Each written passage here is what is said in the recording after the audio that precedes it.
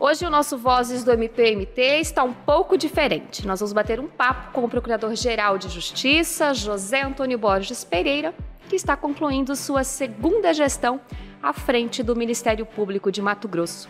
Seja bem-vindo, procurador. Obrigado, Tânia. Satisfação de estar aqui no podcast do Ministério Público. Procurador, o senhor ficou quatro anos na gestão do Ministério Público de Mato Grosso e muito trabalho foi feito neste período, incluindo uma atuação em situação de pandemia. É até difícil falar né, de tanto trabalho, de quatro anos de trabalho em poucos minutos.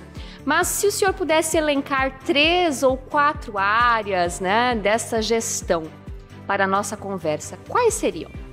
Eu diria que foi a interiorização da Procuradoria Geral, com a divisão dos polos e lá a gente indo e vendo as demandas.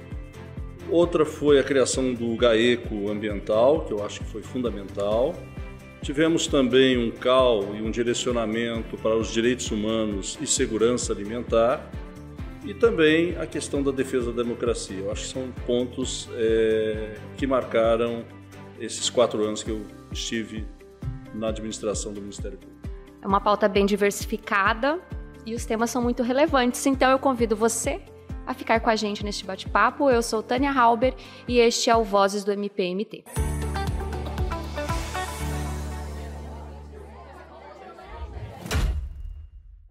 Hoje o nosso papo é com o Procurador-Geral de Justiça, José Antônio Borges Pereira. Procurador, podemos começar falando da interiorização da gestão? Vamos lá. Já no início do primeiro mandato, o senhor realizou reuniões em todos os polos do Estado e manteve inclusive estes encontros durante a pandemia em formato virtual. Quais os ganhos que esta iniciativa trouxe para a atuação do MP?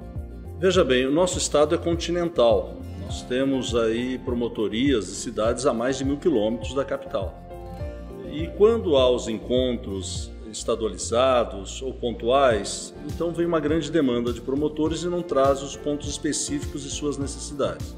Então o que, que nós fizemos? Nós criamos sete polos e semestralmente a gente se reúne com minha equipe é, nesses polos, onde lá são colocados os pontos específicos daquela região, completamente diferente uma da outra, a estruturação das promotorias e também ligado ao planejamento estratégico das promotorias especializadas. Então, nesse aspecto, esse feedback do primeiro semestre vai lá ver as demandas e também trabalha o planejamento. Segundo semestre, traz as soluções daquilo que foi trazido de demanda dos promotores e também as novas demandas. Isso reflete em que sentido? É um feedback mais rápido para os promotores, estruturação dessas promotorias e, por consequência, o um melhor atendimento da população que se serve dos serviços de defesa é, da cidadania de uma forma geral, que é o dever constitucional do Ministério Público. Doutor, o senhor disse que nessas visitas o senhor ia acompanhado de uma equipe, né? De uma assessoria. Quais os encaminhamentos dados nesses encontros?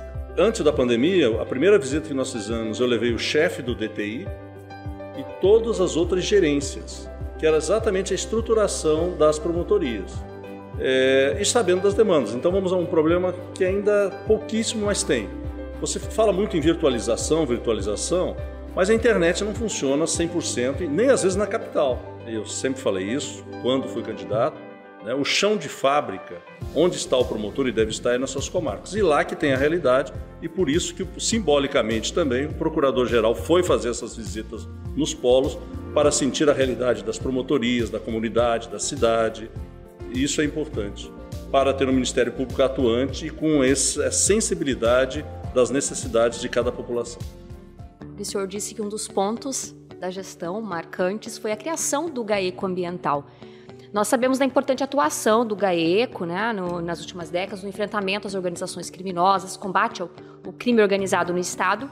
E também sabemos da questão ambiental né, em Mato Grosso, que tem muitos desafios. A gente tem a luta contra o desmatamento, queimadas e outras práticas criminosas. Essa estrutura do GAECO ambiental tem atuado neste enfrentamento? É, nos primeiros dois anos, nós é, criamos os GAECOS regionais nos, nos maior, nas maiores cidades.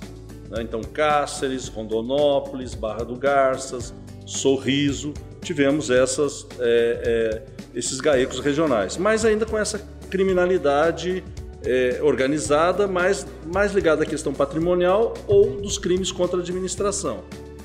E a questão ambiental, é, não por causa da COP27, mas é uma grande demanda, porque nós temos o maior patrimônio desse estado é o seu patrimônio ambiental, que seja o Pantanal, o Cerrado, que é a nossa caixa d'água, e a própria Amazônia que nós temos no nosso estado. Então a importância desse garimpo, porque o crime organizado está exatamente ligado a garimpos legais, ao desmatamento. Então é muito importante que nós tenhamos esse GAECO e ele teve várias atuações exatamente no chamado Arco do Fogo e tem atuações já do GAECO protegendo a selva amazônica. A gente tem visto inclusive essa característica né, dos crimes ambientais na Amazônia é de crime organizado, então é necessário essa estrutura para dar essa resposta no enfrentamento. Exatamente, porque veja bem, nesses últimos quatro anos, o desmatamento, por uma leniência até do atual governo federal, houve um grande desmatamento. E o que, que nós estamos falando disso, Tânia? Nós estamos falando e estamos sentindo né, é, na pele pelo calor e pelas faltas de chuvas. Mas o que, que a população mato-grossense tem que entender quando você fala em garantir a, a reserva de carbono, que é uma mata, nós estamos falando de chuvas. Sem Amazônia, nós não teremos chuvas. E nós não teremos mais duas safras nesse estado. E talvez nenhuma. Então, em 2030, já estamos sentindo agora, falava em 2050, mas do, o aquecimento global vem nesse aspecto. É, quando se fala que o planeta vai aumentar um grau e meio, é na média. Mas esse ano mesmo, a Índia chegou a ter 52 graus. Então imagine daqui a pouco a Baixada Cuiabana tendo 47, 50 graus. É isso que nós temos que sensibilizar e em termos até de investimento. Então não adianta o agricultor ser imediatista e falar que vai tirar duas ou três safras, até com pivotante para tirar a água do subsolo para ter mais uma safra, se daqui a pouco não vai ter essa água. E água é vida. É isso que nós temos que entender. Então, continuando nesta relação direta, né, vamos falar então justamente sobre essa relação do MP direta com a sociedade. Muitas vezes o Ministério Público, mesmo atuando na defesa dos interesses sociais, direitos coletivos, ele pode ser visto como distante da população.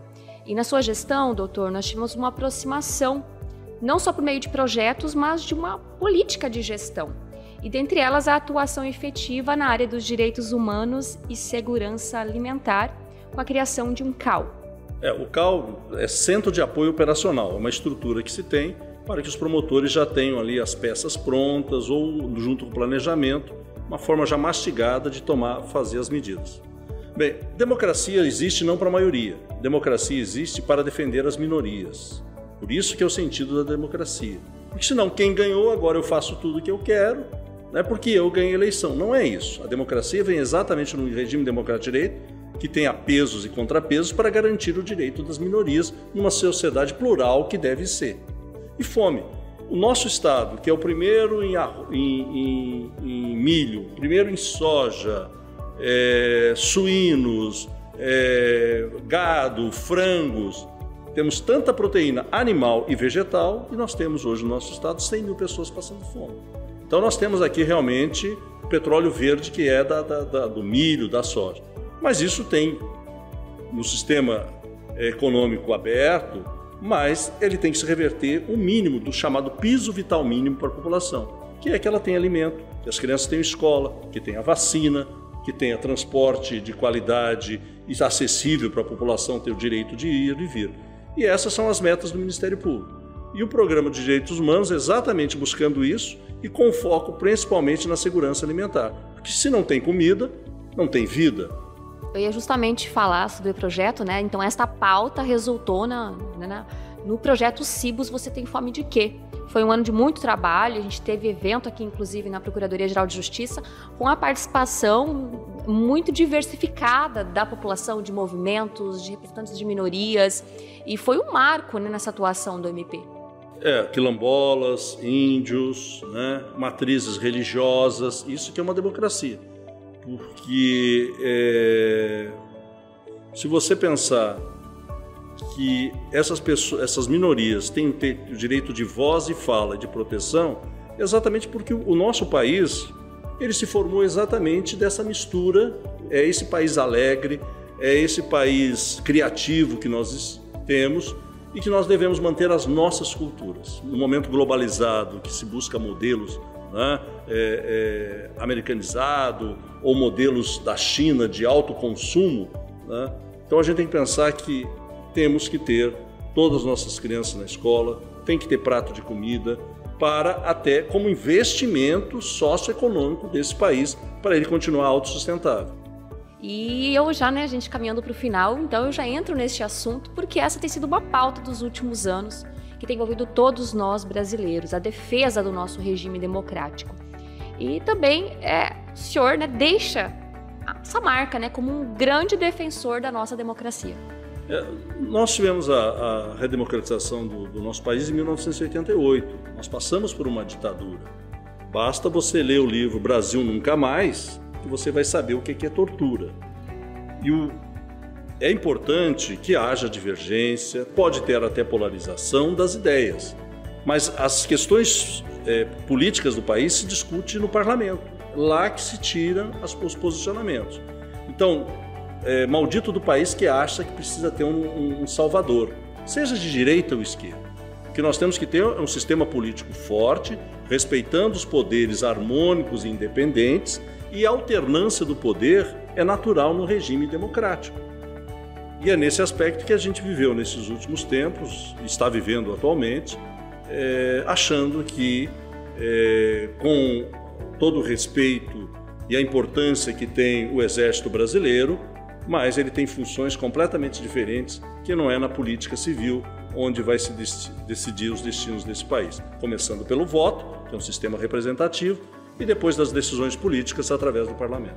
E nós tivemos esse momento e defendemos sim que a democracia, é, a Constituição Cidadã de 1988 deve ser preservada e, em hipótese alguma, ter qualquer tipo de retrocesso nesse aspecto. Procurador, a gente sabe que é difícil falar de tantos assuntos em pouco tempo. Mas podemos falar um pouquinho do futuro?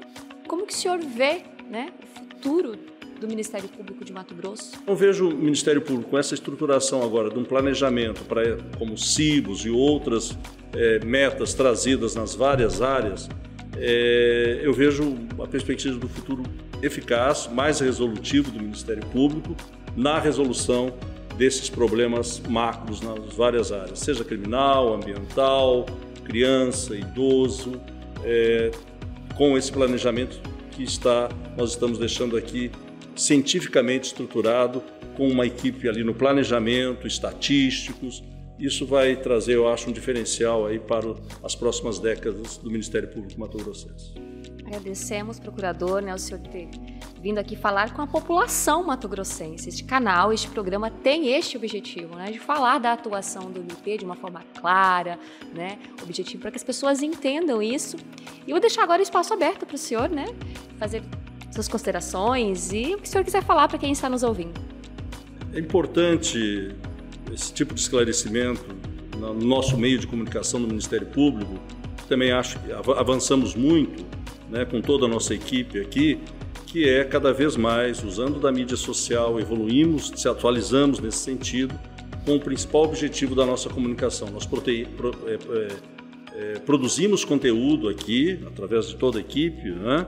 É, com o principal objetivo, prestar contas e de desmistificar qualquer tipo de é, possibilidade, pensar que é, nós temos aqui como promotores de justiça autoridades pelo simples fato de ter, ser promotor.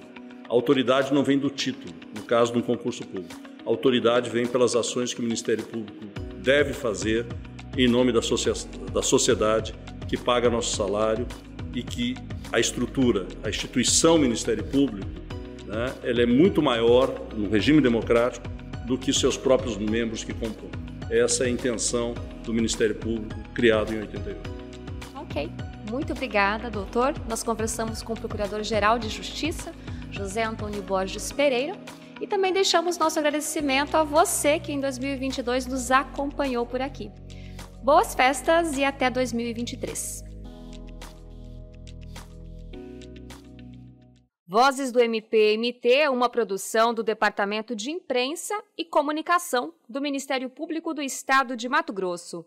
Você tem acesso a mais episódios em nosso site www.mpmt.com www.mp.br. Eu sou Tânia Halber jornalista responsável pela produção e apresentadora deste podcast. A edição é da estagiária de rádio e TV, Liuli Hirano, sob supervisão de Anderson Pinho. A identidade sonora é de Faber Cardoso. A coordenação é da jornalista Clênia Goretti. Obrigada e até o próximo episódio.